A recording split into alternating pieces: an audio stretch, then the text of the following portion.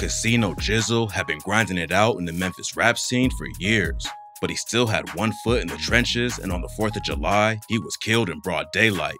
This is the crazy story of how it all went down. Casino Jizzle came up on the east side of Memphis. Not much is known about his early life, but he told Dirty Glove Bastard that he jumped off the porch around 13 years old and got active in the streets. Growing up in the wild streets of Memphis, Jizzle became a product of his environment.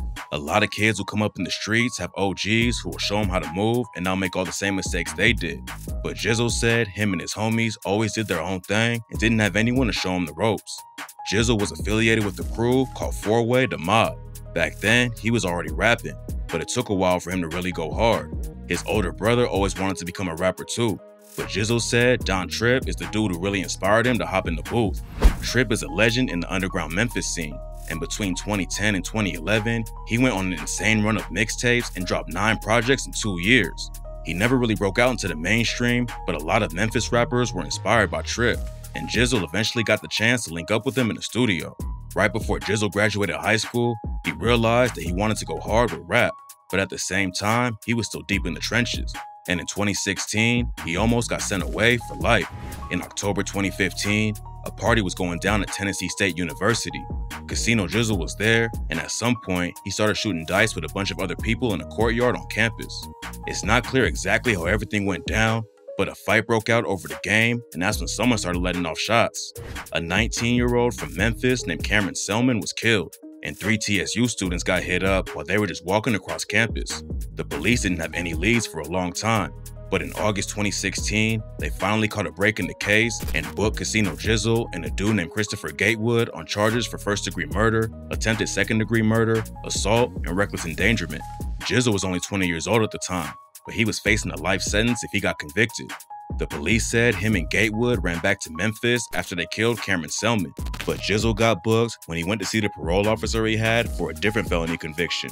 Nobody knows why this happened, but Jizzle caught a big break after a witness from the shooting withdrew her statements and the charges were dropped. By 2019, Jizzle was building a lot of buzz with his name in Memphis. He was racking up hundreds of thousands of views on YouTube, and in August of that year, he dropped the track Four Times For Real and was really popping off. It's not easy for an underground artist with no label backing them to hit a million views, but Four Time For Real hit over 2 million views on YouTube and proved that Casino Jizzle could be the next hot rapper out of Memphis. But just a couple of months after hitting his biggest numbers yet, Jizzle was almost killed at a Chuck E. Cheese.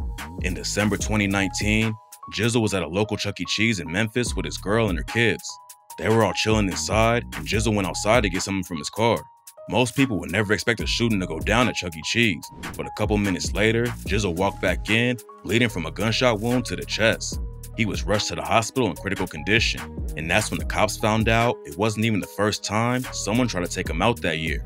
A few months before the Chuck E. Cheese shooting, the ops allegedly slid through Jizzle's hood and did a drive-by on his house. Nobody ever got booked for the shooting, but Jizzle's sister told the cops that he was the one they were trying to hit. While he was in the hospital, Jizzle's manager said that he was trying to leave the streets behind and had some major labels interested. And Jizzle wasn't just trying to blow up and leave everyone behind. He started his own label and wanted to put everyone on. His plan was to kick down the industry doors and let his homies in too. Jizzle was all about giving back to the community. Just four days before he was shot at the Chuck E. Cheese, he was handing out Thanksgiving meals to people in the community who couldn't afford to buy their own. Luckily, he made a full recovery from the shooting and hopped straight back in the booth. He picked up a lot more momentum from the track We the Ops, and Asian Doll liked it so much that she hopped on the remix and gave him even more shine. Jizzle dropped his debut album in 2021 and was planning on releasing his second one later this week. But just three days before it came out, Jizzle was tragically killed on the 4th of July. It's not clear exactly how it went down yet, but at around 6.30 p.m., someone shot and killed Casino Jizzle.